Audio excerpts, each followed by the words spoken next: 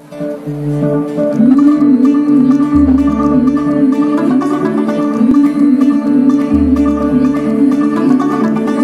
थोड़ा of beat है पर कुड़िया देना बहुत स्वीट है।